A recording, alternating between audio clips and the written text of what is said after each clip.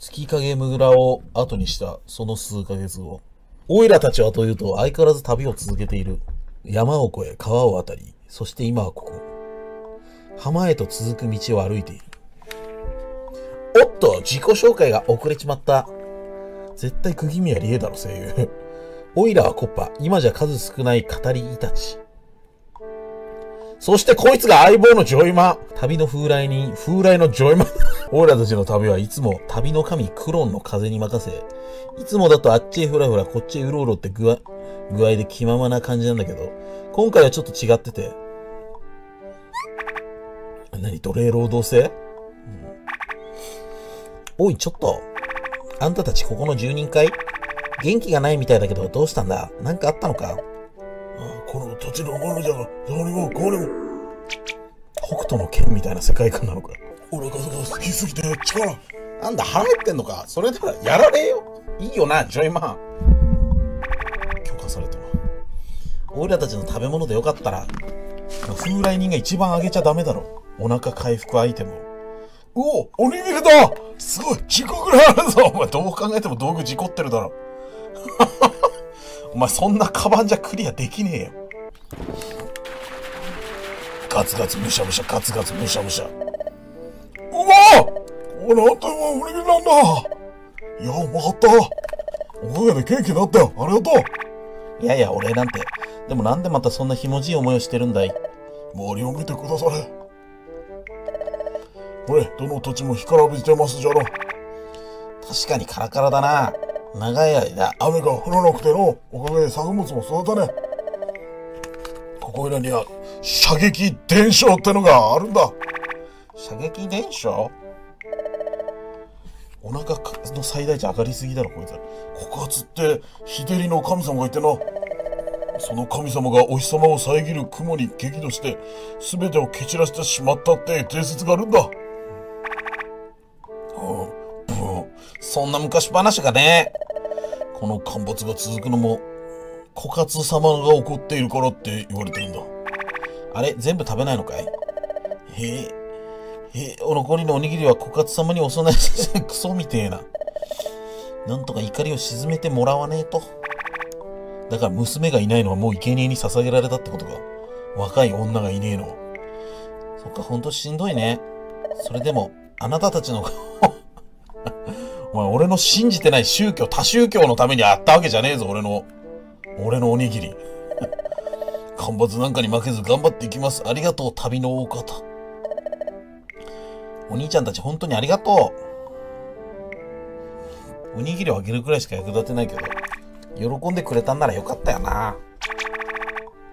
でも食料が全部なくなっちまったよ。お前がやったんだろ。バカすぎるだろ、このネズミ。まあ、いっか。そ、それでも、こんなことがあっても、今はめげずに前を向けるんだよね。だってお宝さえ手に入ればおにぎりなんかたくさん買えるし、食べまくれるし。ん？これは？やっぱり潮の匂いだ。ちょいま、海だ。急ごう。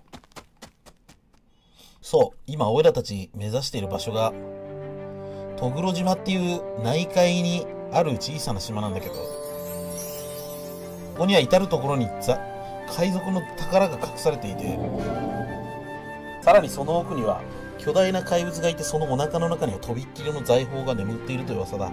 そんな風文にが各地にわーっと広がったもんだからみんな放っておけねえ。多くの強者どもが今島に集まってるっつう話だ。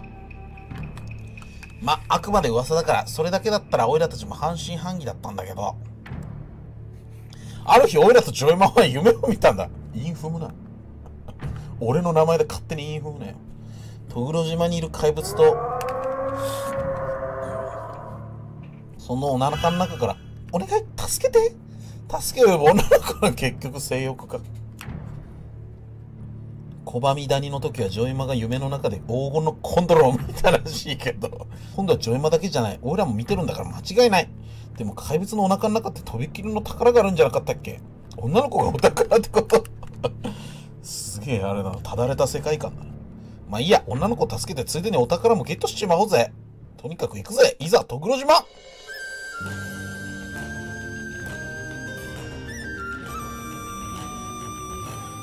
久しぶりだな。唐突だが、話はいきなり飛ぶことになる。場所はとぐろ島最奥部。じゃ、蛇頭山山頂。蛇頭山ジョイマとコッパがトグロ島に到着し、冒険を開始してから十数時間後のことである。プレイ時間10時間ってとこか。だ、大丈夫か？ジョイマ頼む起きてくれ奴が来る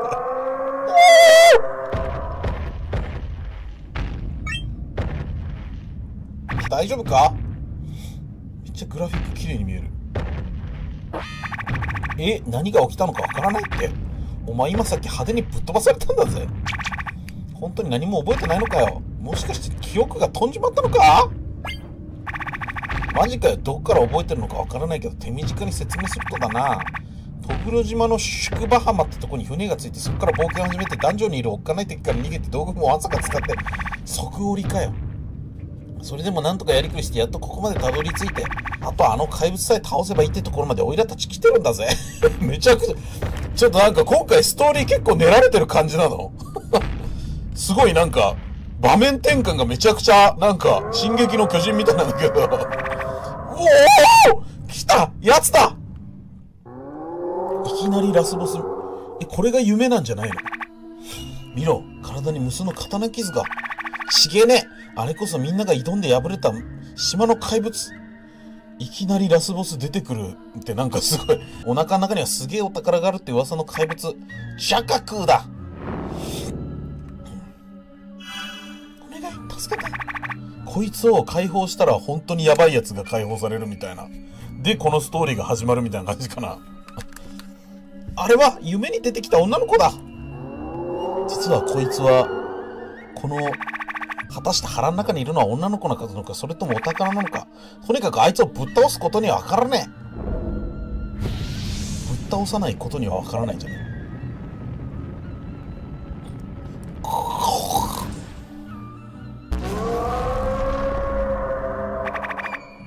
あ周りが、あたりがぐねぐね、ましょ。これテーブルマウンテンのボスこんな感じだったっけ？ビジュアルも覚えてねえな。あいつ、自分の空間領域に引きずり込んだら、モンスターも召喚して。と頭がシャンとしたか豊富とは言えねえが、持ち物に道具も残ってる。うまく使ってやるしかねえ。頑張ろうぜ相棒めっちゃおしゃれな。不思議のダンジョンかめっちゃおおしゃれに言い換えられてる笑った。はい。ちょっとボタンの操作がわからない。×でメニュー。レベル30。でもなんかテーブルマウンテン攻略ってこのぐらいの胴たぬき？サビよえこれ何？ちゃんといけ 確かにこれは これは Amazon レビュー星1つくかもしれん。あまりにも後半戦こんなやったことなきゃプレイできないだろ。ちょっと。あまりにもストロングスタイル令和の時代にストロングスタイルすぎるだろ。わかんねえよ。何をすればいいか全然わからない。なるほど。ちょっと待って。まあ操作は大体同じなんだけど。家族仲すげえ悪い。家庭の父親みたいなゲームだこれ。めちゃくちゃなんだけど。力の草。これ食べるか？とりあえず道具使おうどんどん。はい痛えマジで。おいむちゃくちゃじゃん俺に焼きのおにぎりになったわ。その物陰か固まるね。ここで勝ったらエンディングいけます。やばいだろ。試練自体はすげえ初心者だ。ちょっと待って。全然操作がうまくない。あいいじゃん。めっちゃいいとこ来た。あ当たんねえわ。やばいやばいやばいやばい。石投げるのか。いや勝てんだろこれ ちょっと待って、やり直したい。え、勝てるかもしれんわ。なんか、いや、勝てないか、さすがに。石投げまくればよかったな、初手。直線で逃げた方がいい。炎があったこいつ。うわ、これなんかドラゴン使えば勝てそううわ、ちょ、やり直してめちゃくちゃやり直したいここ勝ちたいな勝ちたかったわ。あ、あ、え、やり直し、え、これ勝てると思うけど。なんか道具落ちてるし、石投げればよかった。ちょっと待って、やり直したい。でも、何もセーブしてねえから最初の名前つけるとこからやり直しになるわ、これ。なんか勝てそう。なんか勝てそうだよな、これ。ち一回だけやり直していいちごめん。どのぐらい最初からやり直しになるかわかんないけど。多分最初からやり直しになる。ちょっとこれ、いや、こんな把握で、これを把握してたらいけたぞ。このドラゴンが火吐いて味方に当たるとかさ。ストロングスタイルすぎるんだよ、開幕。いや、もうやっぱり尊敬、この、多分スパイク中ソフトが、あの、モチーフにしてるのはやっぱりエルデンリングとかだと思うんだよ。ライオンのこう、崖から突き落とすようなこのチュートリアルと言えないチュートリアル。俺の冒険を始めさせた始まりかっこ終わり。終わり本当にこいつラスボスだラスボスってほど強くないけどな。闇のディアルガみたいな絶望感ないけどな。全然。ちょっと毒の液吐いてくるだけなんですけど。強えけど、た強いけど弱いよ。お前は。ちょっと毒の液吐いてくるだけなのに調子乗りやがって。鈍足か面白いね。あ、鈍足は普通に面白いね。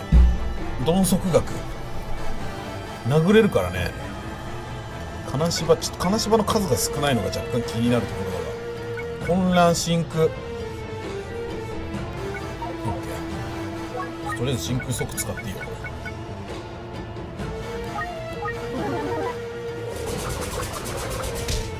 真空で気をつけなきゃいけないのは真空波動拳で気をつけなきゃいけないのはそうドラゴンが成長する可能性があるからそれだけ気をつけなきゃいけない一回焼いてくんない？焼いてかない？ってる。まあバッタはいいわ。焼いてかない。あんま握り飯持ってねえけど。一回焼いてもらって。普通にこれこのぐらいの距離感だ。真空切り俺使ったよ。軽く。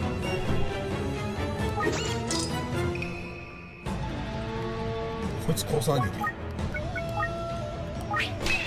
あ、いて そうだ。違う、ちょっと忘れ、こいつがなんかそういう感じのやつだっていうの忘れちまうぜ。腹立つ。めっちゃパクパクで笑った。まあまあいいだろう。つい忘れちゃうこいつがそういうやつだったの。鈍足入れるかもうこのタイミングで。使いがはお前誰だよ。マジでお前誰なの。お前マジで誰。やめろよ。間違いだぞ。封印は？今回封印ないのか。それがちょっときついね。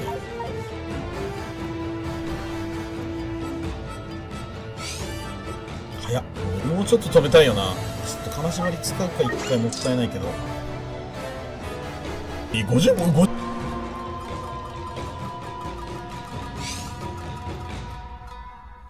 ドラゴン食べちゃうのか？もったいないな。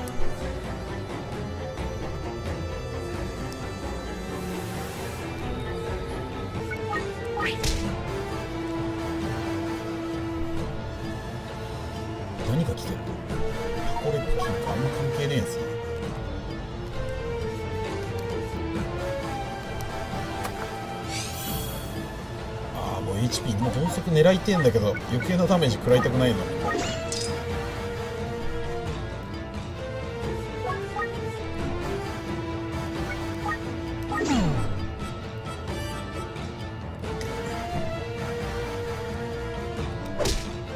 これか。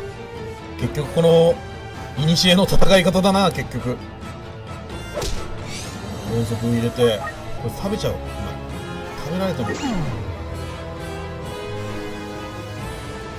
上のアイテム見に行くか。それがいい。今チャンス。こいつ邪魔だな。OK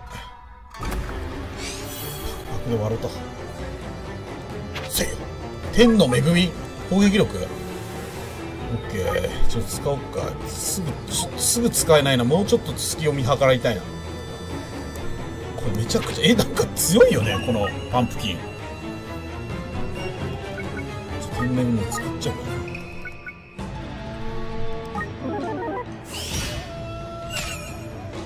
痛え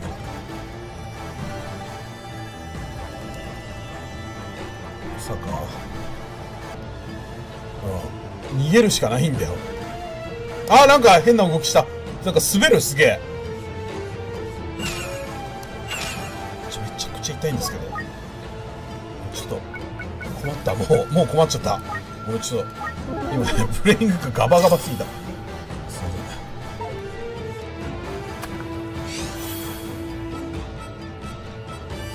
せん。30食われんのちょっと痛えか？マジで。OK これでいい。できればもう一歩近づいてきてほしい。ここで使うのがベスト。でも2分の1だから隣接で使ってもいいかもしれんねこれ。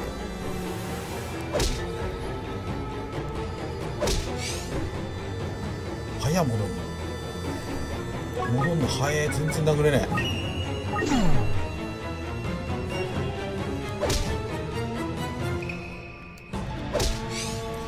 全然殴れない。ちょっとこのないゲームだから。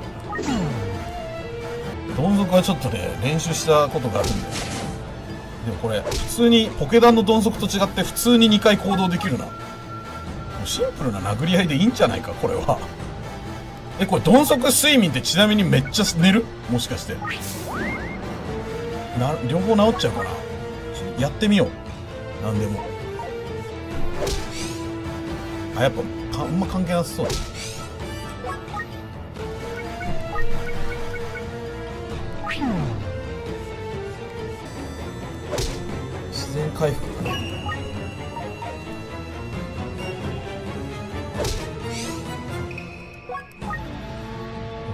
爆睡混乱込みでもう少し殴れる。けどもうちょっと歩こう。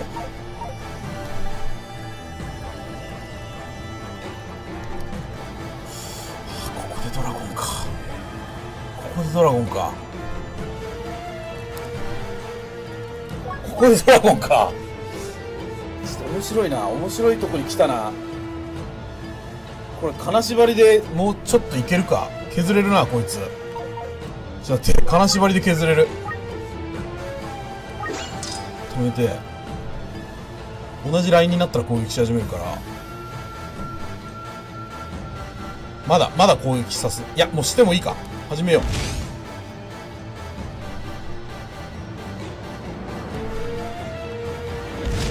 来た。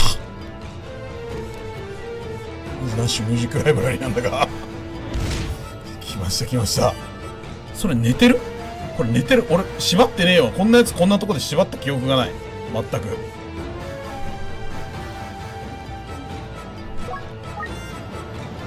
ぞちょっと待って。かなりダメージ出せるこれ。こっち行こ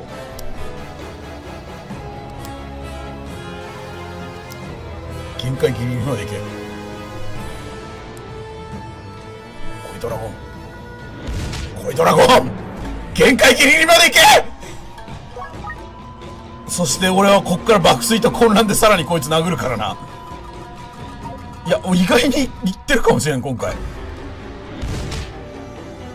オッケーオッケー。割と機体の中ではだいぶ出せてるダメージ。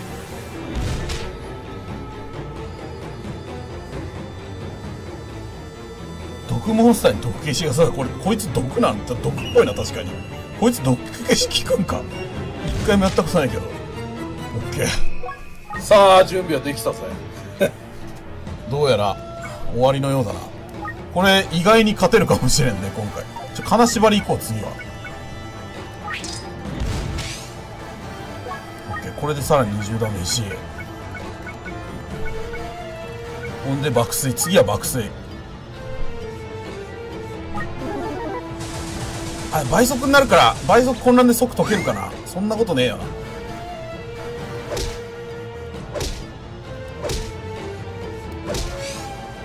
120ダメージ。で混乱。でさらに混乱。さらにもう一発。もうこれしかない。やるしもうこれで勝てなかったらもう無理。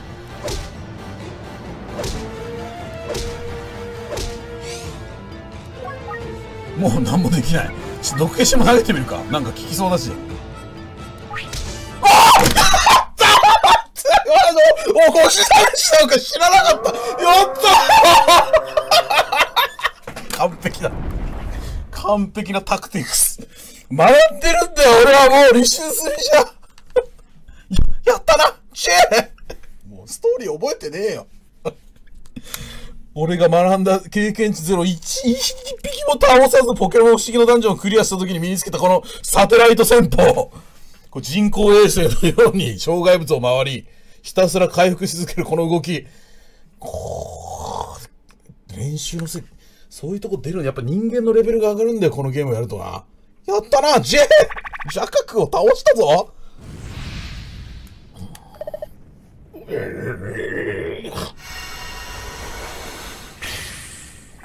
ジャカクが消えた！あれ？でも、女の子は？っていうか、お宝もないんだけど、どうして？わあわお、奥から突風が？全然わかんない。どこここ？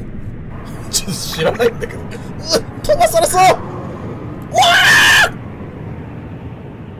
誰だよ？お前もこの炎もが誰なのかもわからないし、この岩が誰なのかもわかんないし、どこだよ、ここ。マジで。ああやべえ！島がめちゃくちゃなっちゃった。めちゃくちゃネタバレだ。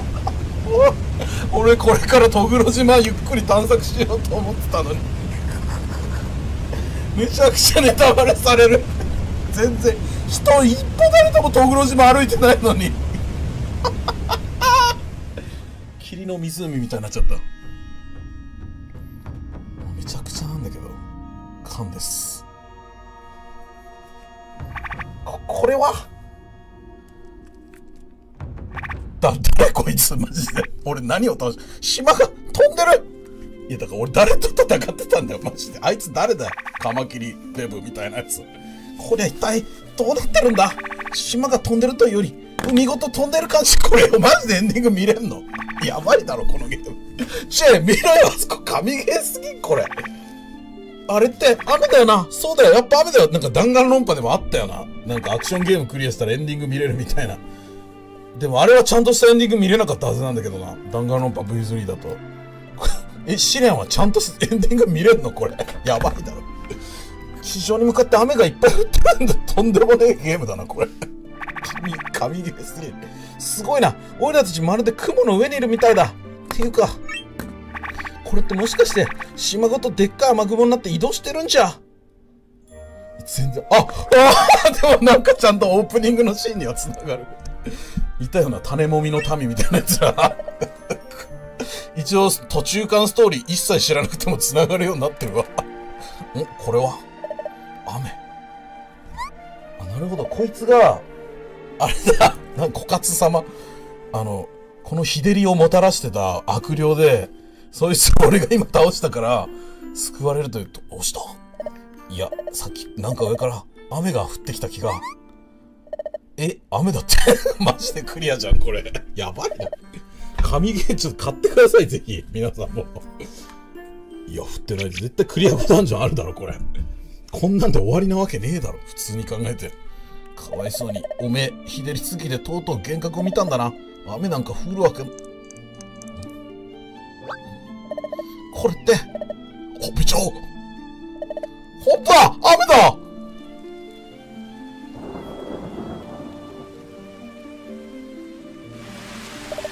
すごい。こんなにも雨が一斉に。いやすごく長く険しい道のりでしたが230時間くらいプレイしてようやくついに雨を降らせることができました。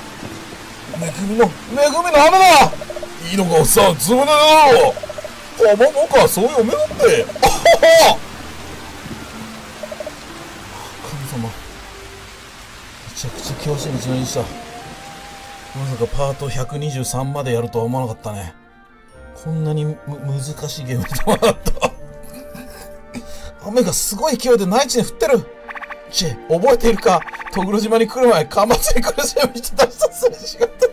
ご、なんか割と30分前ぐらいにすれ違ってる気がするんだけど。めちゃくちゃすれ違い通信ぐらいすれ違ってるけど。あの時お、おにぎりあげて おにお別れしたけど、俺はちょっと気になってたんだよな。でもこれだけ降れば干ばつの地も潤うんじゃないかな。この雨であの人たちも喜んでくれるといいな。ん？ジェ、どうした？あれ？なんだ？雨に混じってなんかキラキラしたものが落ちてるぞ。あれ？もしかして、大判とか小判じゃない？これ、エニーパーセント。風来の試練エニーパーセント、こいつ倒す以外の道ねえだろ。ひょっとしたらあれが海賊の宝？誰？海賊って誰だよ？わあなんて小判まで！お前やこれを奇跡と言わずなんと言えば。ほんと、わあ、ほんとにありがとう！ちえ、どういうことやありゃ？雨と一緒にお宝も引っ越しちゃってるってこと？ていうか女の子はどこ行ったんだよ？あの女誰だよ？マジで。本当にもう、何が何だか全くわけわかんない！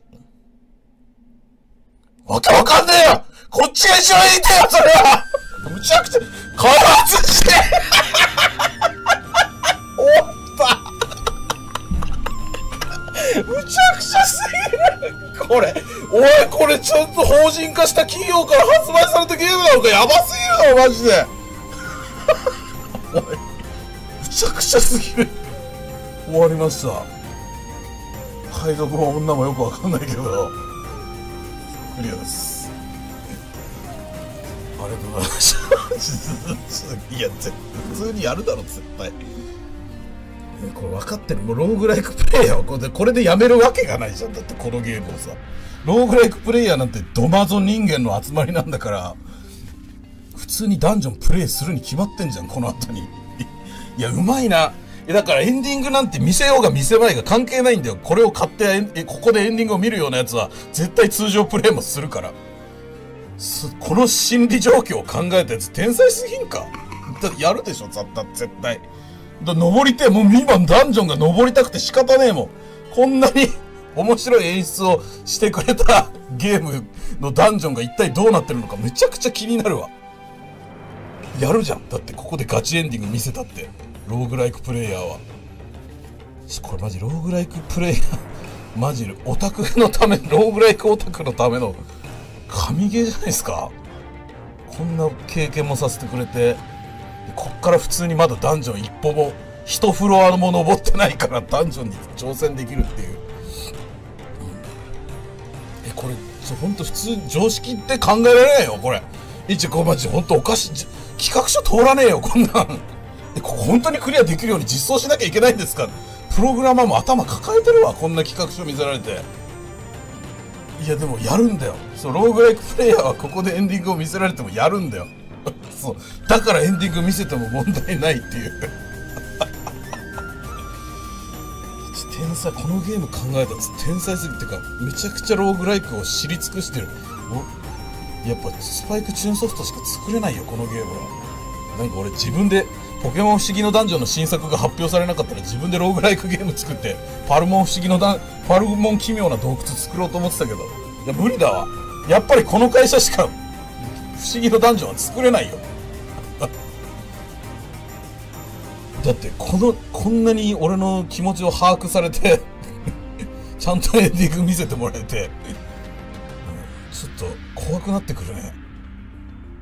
石上弘樹さん。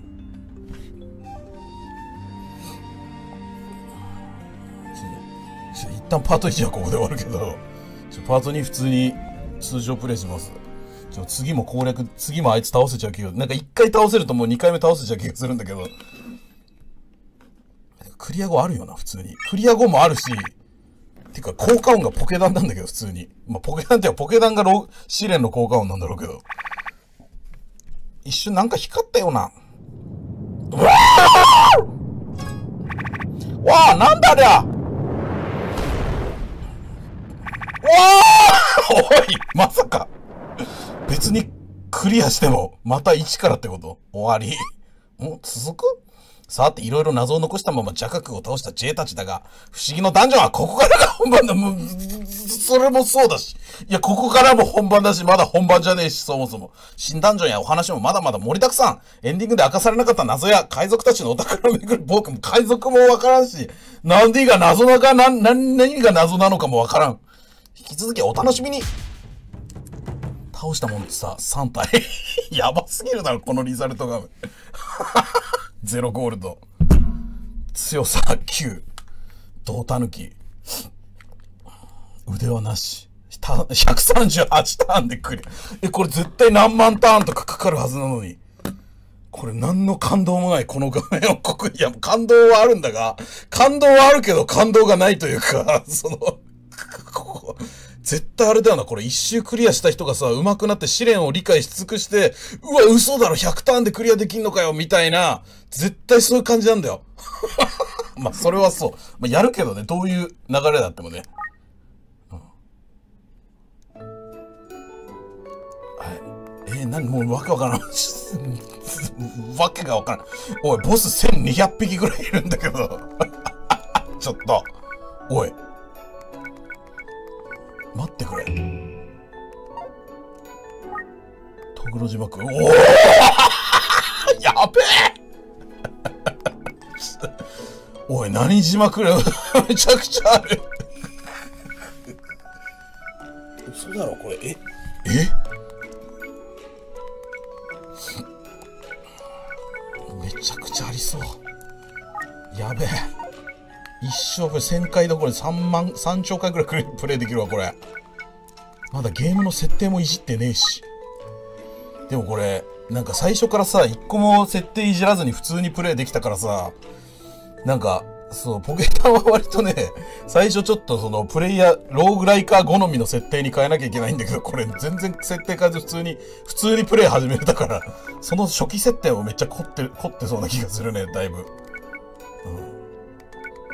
じゃあちょっとパート1はこんぐらいにしときますけど、じゃあパート2普通にプレイしましょうかね。え、これ、冒険に行ってたらどっから始まるの？ちなみに。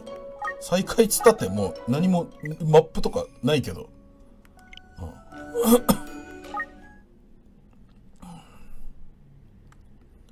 通常プレイでも次の朝。うん。うわあどここの家？なんか家も手に入れてる勝手に。ああれ？おい、チェ起きろこそこそ、こそこそ。ここって渦巻きってどこ？マジで。ちょっと、マジでどこ？どなた？何をされてる方なの？俺たちなんで二人してここで寝てたんだよ。ここがどこなの？わかんない。何で寝てたのかももちろんわからないし、ここがどこなのか。何があったんだっけ？あの時は確か。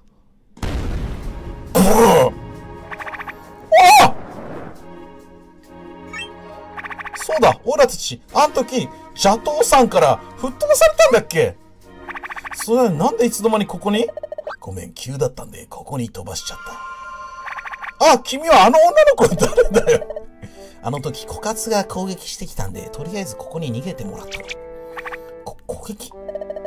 うん、追い払って、あ、なるほど。こういう根本原因は立ててないんだ。ちょ、普通にストーリー進んでるけどね。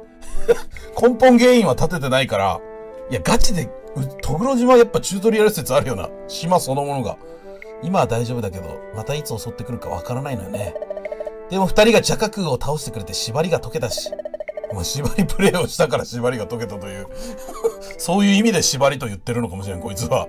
おかげで私も元気になったし、枯渇にも対抗できるようになったよ。ほんと二人のおかげだよ。J、コッパ、本当にありがとう。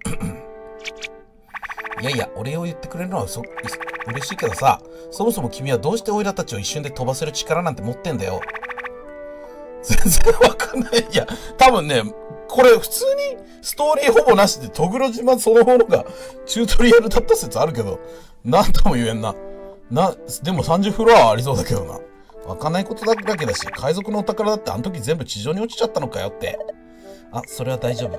あの時落ちたのはちょこっとだけ。ほとんどのお宝はまだこの島に隠されているよ。だからもう一度トグロ島登ろうねってこと。そうなんだ。それはよかった。で、安心してる場合じゃないよ。わからないところがまだてんこ盛りなんだけど。そっか、助けてくれたお礼もあるし、どういうことなんかちゃんと教えてあげるね。って思ったけど、枯渇がいつまたやってくれるかわからないから、ここに長いこといるわけにはいかないんだよね。そうだ、じゃあこうしよう。じゃあ父さんの30人またあの、イベントで行っただけなんだよ。生き方わかんねえんだよ、俺。ちょっと、あの、僕、僕、生き方がわかんないんですけど、連れてってもらっていいですか一緒に。ちょ、わかんねえって。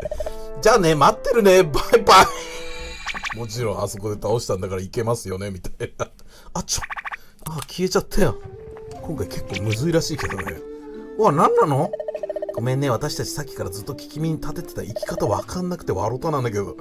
少女の声が聞こえたと思ったらいない。誠に不可思議な。侍の子。あの少女は一体誰だ？お前らが一体何なんだ？誰だよ、こいつら。おい、それより邪覚を通して、本当かよ。お前誰すぎる？海賊の安家、ジョイマンみたいなやついるし。お宝、お宝、どうだったんだよ。あ、もうそれ、そんな一斉に聞かれても答えられないよ。てか、俺たちもまだよくわかんない。初対面だし、お前ら。え答えられることは二つ。まず、邪覚は知恵がやっつけた。おお。で、お宝は、確か邪覚の腹の中にとびっきりのお腹が、お宝があるって話だが。お宝なかった。でもさっきの女の子の話だと海賊の宝のほとんどはまだこの島に隠されてるらしい。その不可思議な少女は。何者なのかよくわかんねえ。人間ではなさそうだ。縛りが解けたとか言ってたから多分邪覚と関係がある存在じゃないかと。初対面でよく喋るな、お前ら。でも最初の階層で十何時間登った結果あそこに行ったって言ってたから一応、俺の階層の中では喋ったことあるんだろうけどね、プレイヤー的にはマジで初対面だけどね。うん。俺たちが分かるのもここまでは果たし知らねえ。っていうことは話をまとめると、邪覚は J が倒した。そして海賊のお宝は、まだこの島にわんさかあるってことだ。おお !J すげえお前ほんとすげえよまさかあの邪覚を倒すわね。そして、お宝はまだまだこの島に隠されているんだ。こしゃれ伸びながらお宝ゲットの作戦会議だおおてかさ、これポケダンのライター!じゃないなんか、文章がポケダンすぎるんだけど、これススパチュンの脚本家ずもうロー!グライク担当の脚本家いるよな、絶対。喋り方がもう、見覚えありすぎる。なんか、ジェイ、コッパおめでとう。頑張っためちゃくちゃ口に馴染む、お前らの。お前らの会話めっちゃ口に馴染むわ。もう、俺、8年ぐらいポケダンのテキスト読んでるからな。邪覚を倒すなんて誰にもできなかったことだし。本当にすごい鈴菜ちゃん、こっち切れてるよ。何が？頭が無事言う。でも、お宝のこともあるし、まだまだこの島にいるんでしょ応援してる。頑張ってね。あ、そうだ。そういえば、島が飛んじゃっていることを話すのすっかり忘れてた。でも、いたずらに話しても騒ぎが大きくなるだけだし、とりあえず、ま、いっか。一番伝えなきゃダメなとこ、どうやって俺行くんだ？よ。俺たちにはまだわからないことだらけだし、あの女の子は邪頭山の山頂まで来れば、ま、教えてくれるって言ってたよな。とりあえず、もう一度行ってみるか。邪頭山の山頂へ。めちゃくちゃ、このポケダン、ポケダンなまり。お前ポケダンなまりしてるぞ。わからんもう操作、街の操作方法がわからなすぎる。セーブとかない？これも電源切れば終わるんか。